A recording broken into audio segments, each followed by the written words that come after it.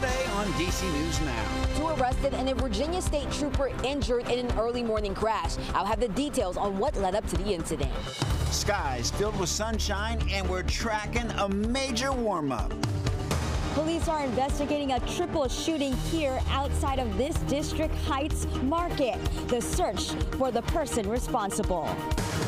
Moments from now, we are still tracking what you'll pay at three popular DMV supermarkets. Another grocery price check.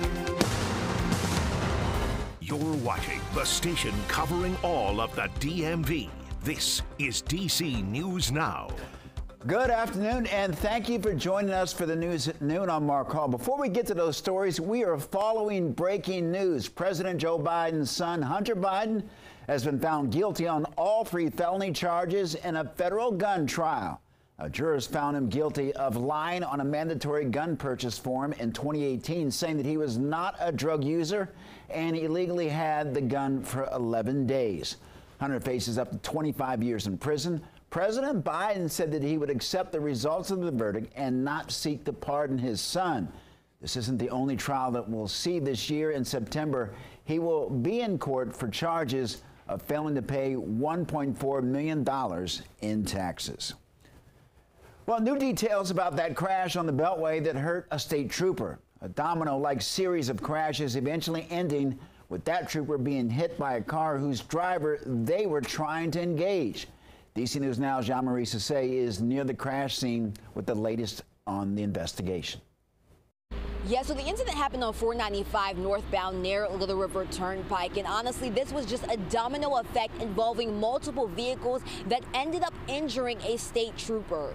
Just take a look at what the scene looked like early Tuesday morning. It happened shortly after 3 a.m. Now, according to police, the state trooper was dispatched to 495 because a sedan was stopped in one of the lanes. As the trooper was trying to get the driver to move over to the shoulder, a Jeep crashed into a tractor trailer and spun around, hitting the trooper's patrol car, which then hit the sedan the trooper was helping and ultimately hit the trooper. Now, the trooper suffered minor injuries and was taken to the hospital. And the driver of the sedan, who was inside the car when it all happened, also had minor injuries and was arrested for driving under the influence of drugs. And as for the Jeep, the car that crashed into the tractor trailer and later the trooper, that driver was arrested for driving under the influence.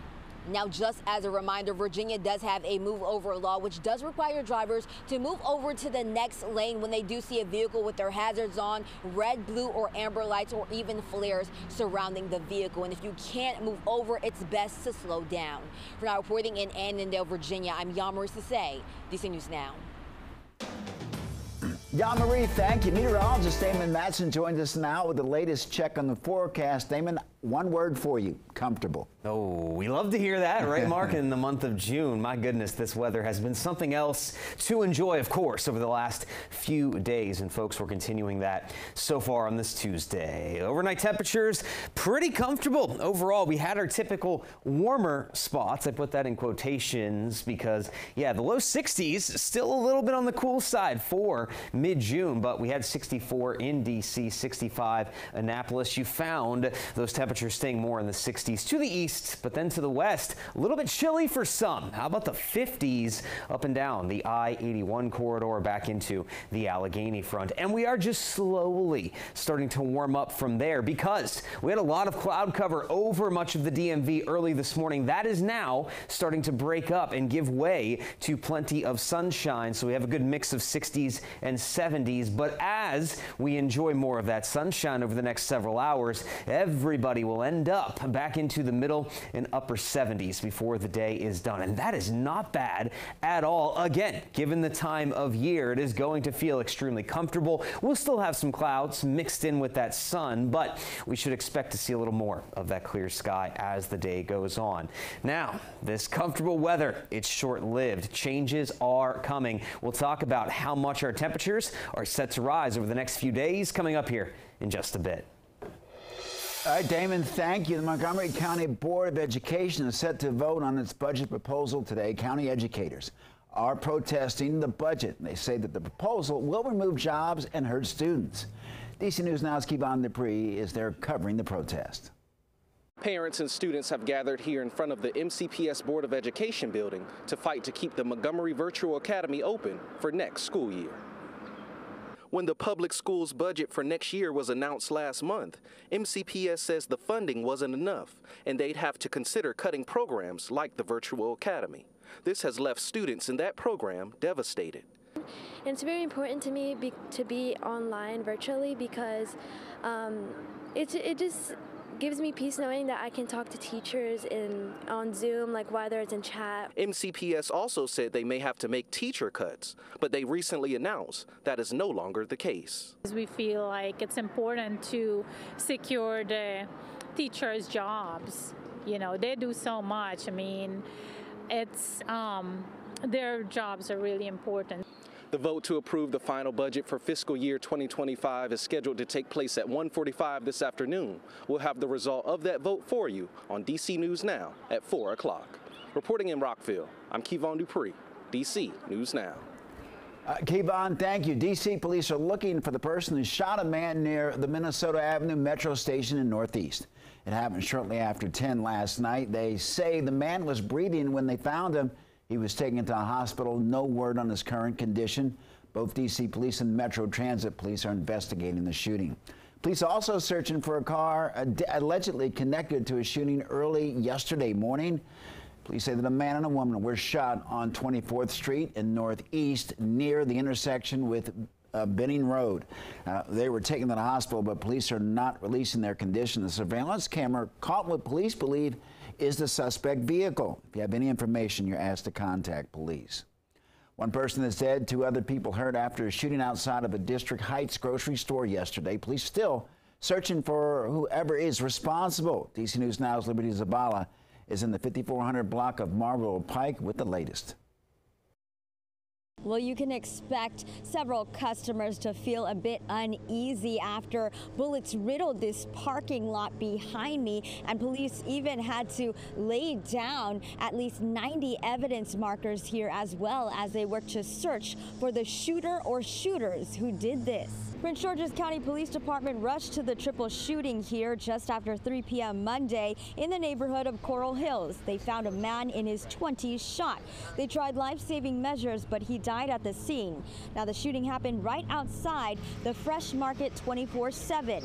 Police say a woman in her 50s was hit. She was rushed into surgery. They also say a man in his 60s was also injured by the gunfire, but police did not have an update on his injuries.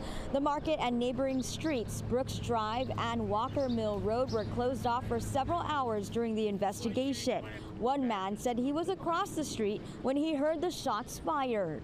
My back was turned and I just heard pop, pop, pop, pop, pop, pop, pop, pop, pop. pop. But it's afternoon, hot, and next you know, I was like, this is real and I just ran in the building. Police have not yet released any suspect information at this time, but they are urging anyone with information to come forward. For now, in District Heights, Liberty Zabala, DC News Now. All right, Liberty, thank you. Happening today, Montgomery County Council members are expected to interview Police Chief Mandate, Police Chief Candidate, pardon me, Marc Yamada. He is uh, County Executive Marc Elrich's nominee to lead the department. Yamada has been working with the Montgomery County Police Department for the last 35 years. That includes three years as the assistant chief. Outgoing Chief Marcus Jones is retiring at the end of the month, and he's been with the department for the last five years. If approved, Yamada would become the first Asian American to lead the department. Well, Loudoun County is looking for developers for its program to fund affordable housing. Developers can apply for a loan from the county, which will go toward preserving affordable multifamily rental units. Now, one applications are when once applications are approved by the County Board of Supervisors, developers will be certified for a year. The deadline to apply for the loan is Thursday, August 1st. And Maryland's Public Services Commission denying more than a half of PEPCO's rate increase request. It authorized a $44 million rate increase for one year. The company requested a plan for more than $116 million in the first year, and that would increase to over $200 million by 2027. Public Services Commission says that this will increase the average bill by $5.72 each month. And when we continue to track prices at the grocery store to help you fight back against inflation. we can anchor Ben Dennis is stretching your dollar by helping you decide where to shop.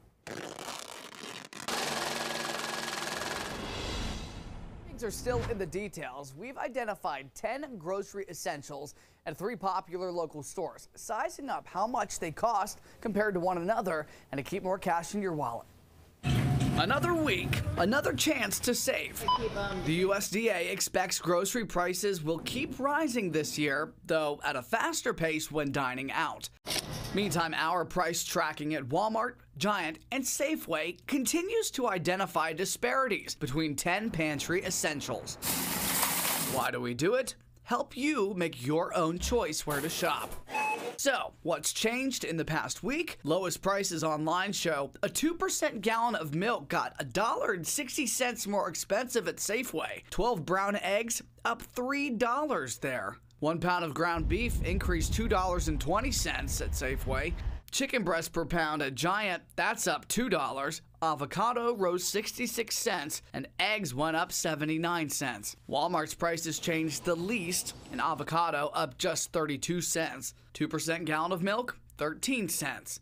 Between the three, here's what's cheapest at Walmart 9 out of 10 of our pantry essentials to start the week. Giant wins for a one pound tray of ground beef. Safeway in the back of the pack, comparatively, though their wheat bread and russet potatoes are cheaper here than at Giant. And of course, certain apps can grant cash back for groceries like Ibotta, Fetch, for example. Go a step further with those digital coupons and store loyalty programs for discounts once you reach the register. Ben Dennis, back to you.